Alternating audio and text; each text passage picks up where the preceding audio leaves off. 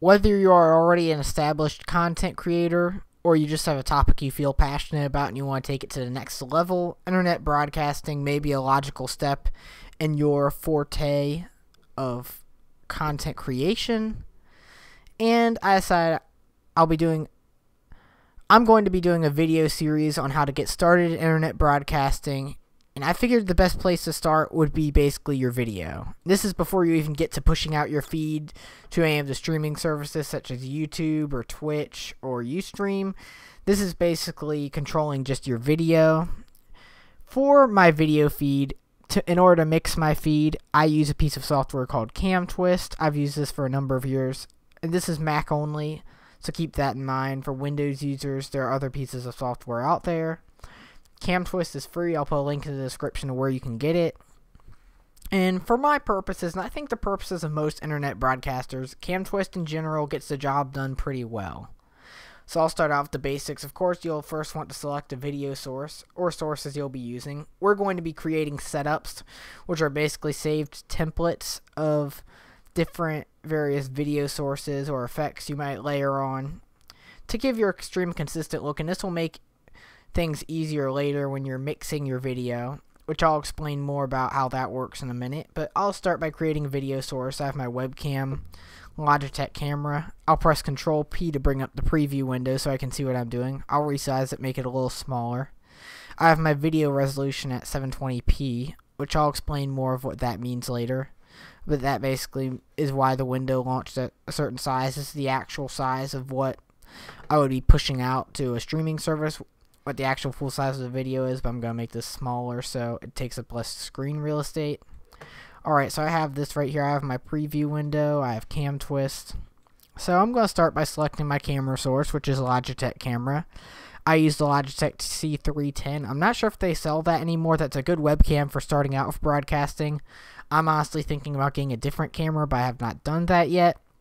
Normally, I'd have that mounted on a tripod or whatnot. Of course, this is not the angle I would be using if I was doing an actual show, but this is just for tutorial purposes, so I figured that would be alright.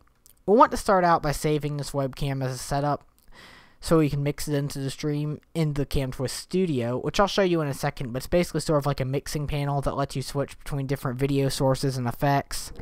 It'll make your life way easier if you're streaming, especially if you have guests on and you're trying to mix in different pieces of content. But I'll want to call this webcam 1. I'll just save that. Alright, so this will be my main webcam. And I can also mix in things such as my desktop. So I'll make a desktop plus. I'll make a desktop one and I'll call this main main desktop so I know what this is. And let's just say you have other video sources here like Desktop Plus is what I'd recommend for showing your desktop. Regular desktop serve a legacy feature in CamTwist. Slideshow for showing slides of images. Movies for playing back pre-recorded content. You can add in a Flickr set or VNC. That's used for bringing in a remote PC. I wouldn't use this for anything very intensive. If you need to show off something on another computer, then okay. I wouldn't use this for, say, bringing in Skype because VNC does not keep a very good frame rate. It'll produce very choppy video. So we'll bring in webcam 1 so I can show you the camera here. And then we'll select some effects. So you have, most of these aren't very practical. I'll show you a few like a uh, pixelate. There's not many situations where you'd want to use this, an effect like this or a cube effect.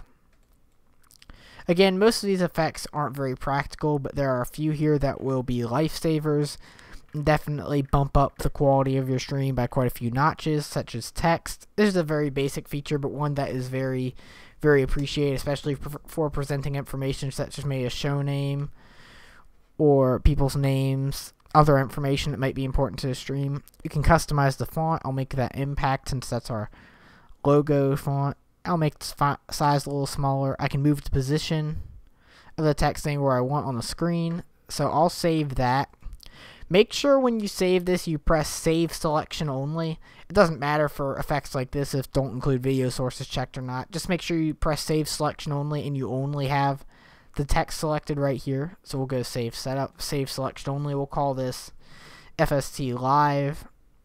Or it's because this is just the text that I might want to display such if I'm doing my live show, Fancy Show Tech Live. I can also add an image overlay, which may be good for a number of reasons, such if I wanted to add in a logo, FST logo. I already have this prepped up here. I'll drag this into the stream. I can resize this however big or small I want. I would recommend having images optimized ahead of time because as you can see, sometimes they do not scale the best, but for the most part it's alright. I'll put this maybe in the side right here. I can change the opacity so I can make it barely visible so I can like move my hand through it like this or I can make it totally visible. I can decide how much or little I want that in there. I might just want that in there as a bug, say, so no one steals the video. That's understandable. Or maybe I'd want it in there all the way.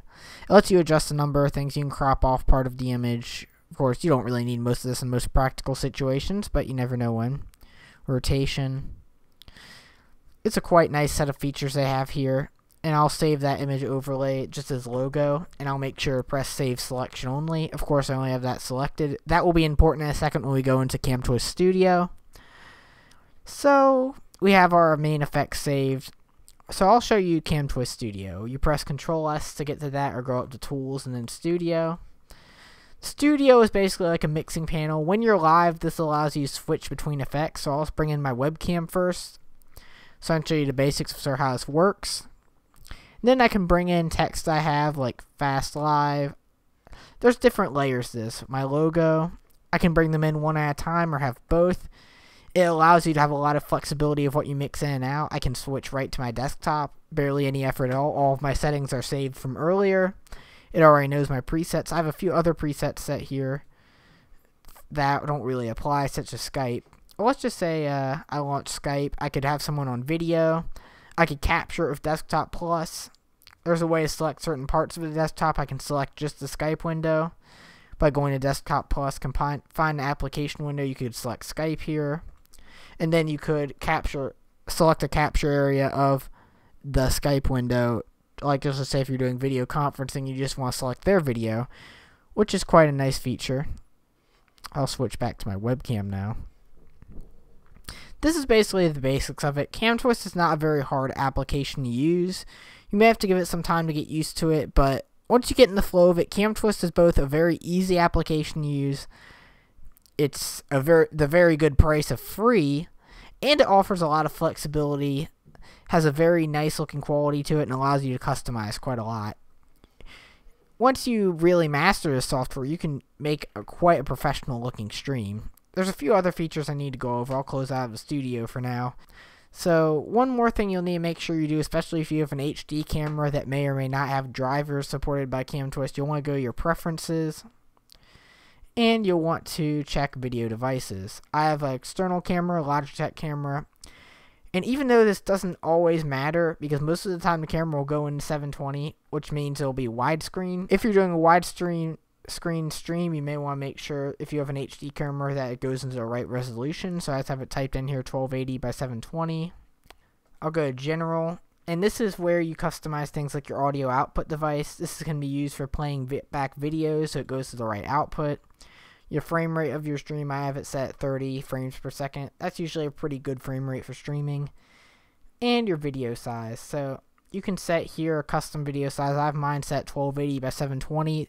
Right now, I'd say 720p is a pretty good resolution for streaming at. If you have the bandwidth, you could do it at 1080p. I don't really see the point in it for live video streaming, so I just keep mine at 720, and that's the resolution of my camera anyways that I use for streaming. In video apps, this lets you change where the CamTwist driver loads into. For the most part, you don't really need to worry about this.